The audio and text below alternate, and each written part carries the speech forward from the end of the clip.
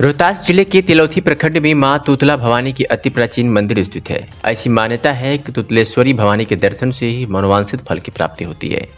राजा प्रताप ध्वल देव द्वारा लिखवाए गए दो शिलालेख यहाँ आज भी मौजूद हैं। तुतलेश्वरी भवानी मंदिर के आसपास की प्राकृतिक छटा बेहद मनोरम है।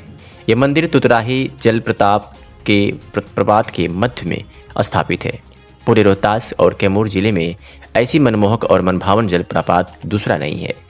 बिहार सरकार द्वारा इसके इको टूरिज़्म स्पॉट के रूप में भी विकसित किया गया है। मुख्य मार्ग से मंदिर तक आने के लिए एक झूला पुल का भी निर्माण किया गया है। इस पर चलना अपने आप में बेहद रोमांचक है।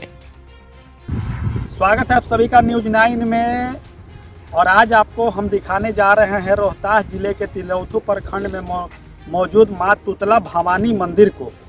आपको पहले बता दें कि माँ तुतला भवानी मंदिर रोहतास ज़िले के तिलौथू प्रखंड में उपस्थित है और वहाँ पे लोग दूर दूर से आते हैं दर्शन करने के लिए। इको पर्यटक के नाम से भी मशहूर है माँ तुतला भवानी और वहाँ पे पर्यटक के स्थल से भी लोग आते हैं, लगातार आते हैं, देश के कई कोनों से आते हैं। आपको हम बता दें कि माँ तुतला भवानी का निकटतम जो रेलवे स्टेशन है, डेहरी ऑनसोन है, जो रोहतास ज़िले में पड़ता है।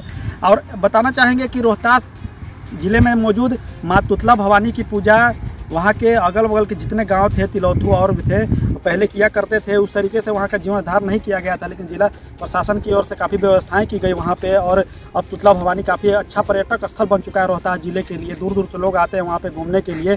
आपको बताना चाहेंगे कि हर साल माँ तुतला भवानी में माँ तुतला भवानी महोत्सव कराया जाता है।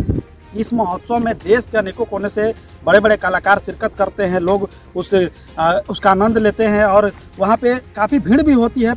इस वर्ष भी हुआ था कार्यक्रम जिला प्रशासन की ओर से काफ़ी व्यवस्थाएँ की गई थी इस कार्यक्रम को लेकर उस कार्यक्रम के में पवन सिंह ने भी शिरकत किया था और माँ तुतला भवानी का महोत्सव मनाया गया था। रोहतास ज़िले के लिए माँ तुतला भवानी मंदिर एक काफ़ी अच्छा जगह है और बावन शक्तिपीठों में भी आता है माँ तुतला भवानी का मंदिर। वहाँ पे एक वाटरफॉल भी है जो काफ़ी दर्शनीय है। लोग वाटरफॉल का दर्शन करने के लिए लगातार दूर दूर से आते हैं।